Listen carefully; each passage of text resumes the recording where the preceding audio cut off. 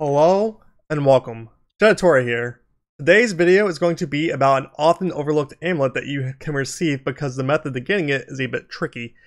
It's uh, this one right here. I don't believe this was added in patch 4 as I could have sworn I got it before without doing this method, but perhaps the item itself is able to be found elsewhere and that's what I'm remembering.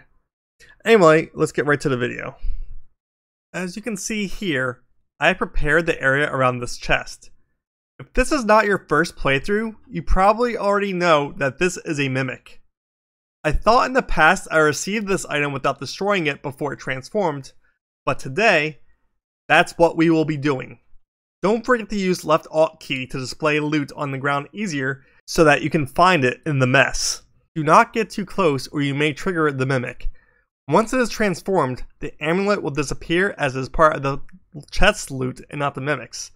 I believe patch 4 was meaning to add this item to the Mimics dropped loot, but it didn't happen.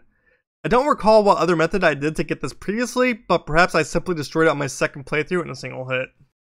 Well, all this work, is it worth it? For certain builds, I can see this amulet getting some use. When using spells that require an attack roll, such as Eldritch Blast, Fireball, and so on, you can cause reverberation stacks on the enemy.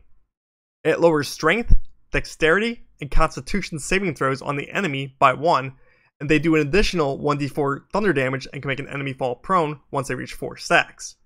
For some reason, unless they changed it in this recent patch, they have been working to get rid of damage riders on things such as Magic Missile, particularly. Then it may also work with Magic Missile.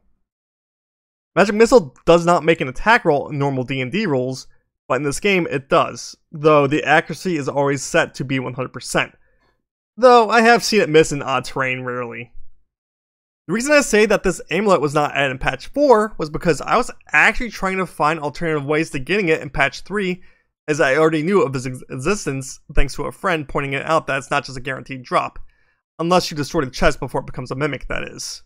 Unfortunately, was not able to find alternative means to make this easier on you, but if you have enough barrels, it should be simple enough.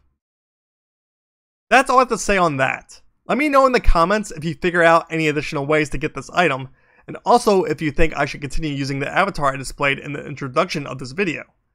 Like and subscribe if you want to see more Baldur's Gate 3 content. Thanks very much for watching, take care, and have a good one.